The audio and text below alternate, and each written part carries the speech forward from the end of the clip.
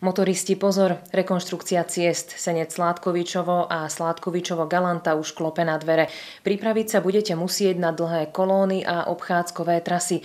Úplne bude vylúčená nákladná tranzitná doprava.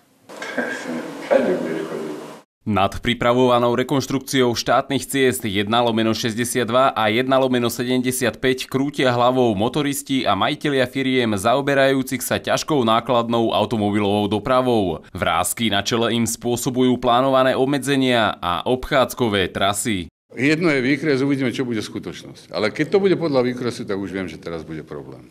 Vidím v tom problém, že cez jednosmernú ulicu, ktorá je momentálne není stavaná na kamionovú dopravu, bude obojsmerná a pokiaľ to bude trvať 3 čtvrte roka, tak v tom vidím dosť veľký problém. Prvá etapa rekonštrukcie začne už za pár dní, 1. mája. Uzavretý bude cestný úsek medzi Sencom a Sereďou. Doprava bude vedená centrom Sládkovičova. Podľa odborníkov kritické budú prvé 2-3 týždne. Úplne vylúčená bude nákladná tranzitná doprava. Nad dodržiavaním dopravných obmedzení bude vo veľkom dohliadať polícia. Keď chytia jeden kamión napríklad pred Sládkovičovom, a kamión bude mať vystavený prepravný list eh, Bratislava Galanta, tento kamión už bude mať pokutu. Prejazd povolený budú mať len tí kamionisti, ktorých cieľová stanica sa nachádza priamo v Sládkovičove.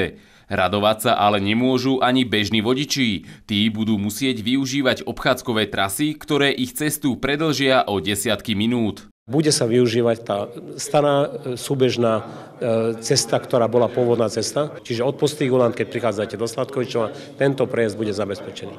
Taktiež bude zabezpečený prejazd smer Abraham Malamača. 1. februára začnú práce na druhom úseku cesta 1 lomeno 75 Sládkovičovo Galanta. Tento úsek bude úplne uzavretý. Neprešiel ani návrh mesta, ktoré chcelo dopravu zabezpečiť aspoň v jednom jazdnom pruhu.